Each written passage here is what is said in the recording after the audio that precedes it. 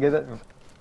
Jake's the type of guy to give the imposter a second chance. You didn't think that was so funny and good, bro.